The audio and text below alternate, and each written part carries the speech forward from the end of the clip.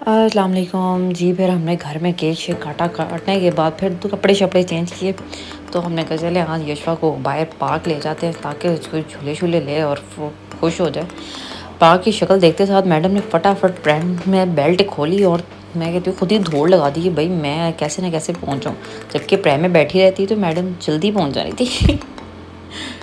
बस हमने कहा कि हम दरवाज़ा खोलें और बस अंदर घुस जाएँ और फटाफट स्लाइड्स वगैरह चीज़ें लें।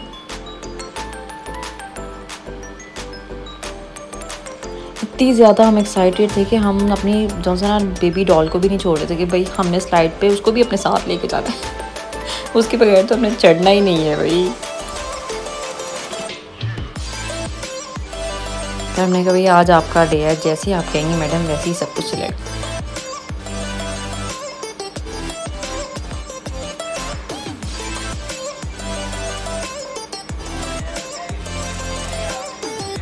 फुल मैडम ने अपनी कोशिश कर ली, मैं चढ़ जाऊँ बगैर किसी हेल्प के और सब कुछ किए बगैर, बस मैं ऊपर चढ़ जाऊँ जैसे तैसे करके। फाइनली हम ऊपर चढ़ गए और इतने खुश थे कि लें जी, हमने कोई पता नहीं, मार का चीफ कर लिया, बड़ा ही काम अच्छा हो गया।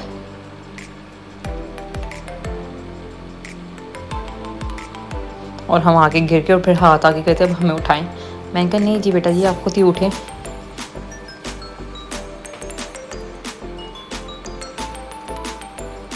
झूले तो हम ऐसे साथ बेबी डॉल को साथ साथ देते जैसे बेबी डॉल को भी सारी सेंस है और वो भी फुल इंजॉय कर रही हैं। पर मैडम वो ज़्यादा खुद इंजॉय कर रही थी।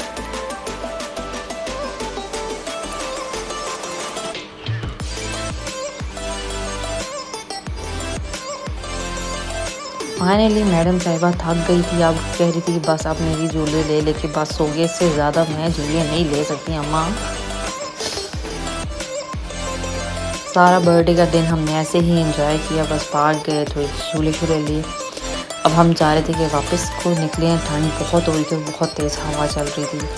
पर जो से ये प्रेम वगैरह और अम्मा अब्बा को छोड़ के खुद ही दौड़ लगा दी कि भाई मैंने नहीं बैठा प्रेम में। खुद ही भागी जा रही है। वीडियो अच्छी लगे तो लाइक एंड सब्सक्राइब ज़रूर कीजिएगा।